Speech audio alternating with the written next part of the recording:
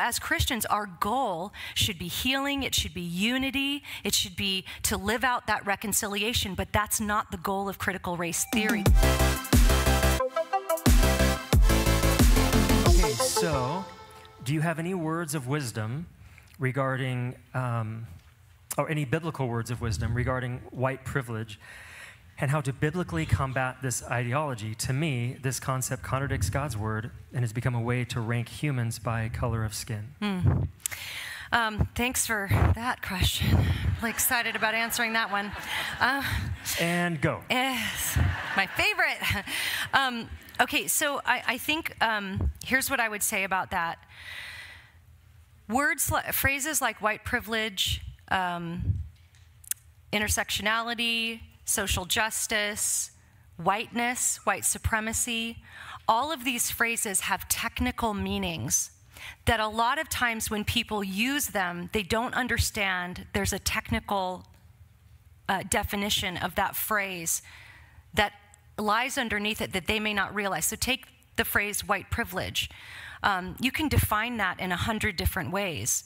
Obviously, in our country, there have been injustices toward African Americans and with uh, slavery and the Jim Crow laws, and there are still the effects of those things happening. So, in that sense, white people did have privileges that other people didn't have.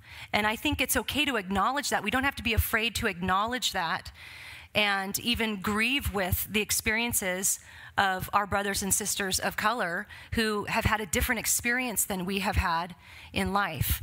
And, and I think I would, I would urge us to resist tribalism on this. Now, what we have to understand, though, in a technical sense, when people are using phrases like that, they're usually drawing upon a philosophy called critical race theory, which does contradict the gospel because that trains us to view absolutely everything through a racialized lens, to view each other as either you're an, an oppressor or you are oppressed and this contradicts the gospel because in according to the gospel we are already reconciled to each other as sisters in Christ, as brothers and sisters in Christ. And we what we our job is is to live that out. So as Christians our goal should be healing, it should be unity, it should be to live out that reconciliation, but that's not the goal of critical race theory. The goal of critical race theory is to there's never an end goal. It's to dismantle every system that brought about any kind of an uh, of an unequal outcome for for different groups of people. And i think we need to resist that because the the goal of the gospel is for us there is no jew nor greek nor scythian nor slave nor free in christ. We are all one. And if there are for example laws on the books that that uh, unfairly oppress people, we should, as Christians, stand against those things. Um, but at the same time, we need to look at uh, the trajectory that things have been on. It. And if we only view things through that overly racialized lens, we're not going to be viewing each other uh, as brothers and sisters in Christ, as the Bible says. And the other thing about the philosophy of critical race theory is it's never satisfied. There's never, uh, there's never enough even a white person can do to ever bring any sort of reconciliation because the reconciliation isn't the goal. And the thing that, that scares me a lot, I have several uh, uh, black friends, uh, brothers and sisters in Christ who are very concerned that if we continue on this trajectory, I know it sounds crazy to think this way, but in 100 years it could just flip to the other extreme. And as Christians, we always need to resist injustice, and we always need to resist uh, anything that goes against the nature and the character of God.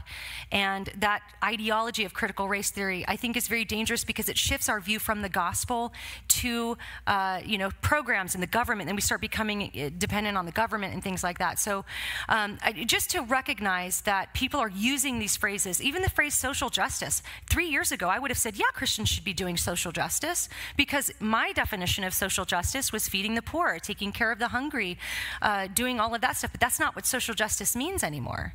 Social justice is deeply rooted in this critical theory. And so, um, yeah, so I think we just, I think resisting tribalism, you know, every time a pastor maybe mentions something about racism doesn't mean they're caught up in critical race theory, but we also can't ignore maybe real problems that are going on. I have a friend who's very active in uh, activism, recognizing that a current systemic injustice is abortion right? This is this is a systemic injustice and so systemic injustice can exist and we need to acknowledge that but at the same time keep everything biblically centered looking at each other as brothers and sisters in christ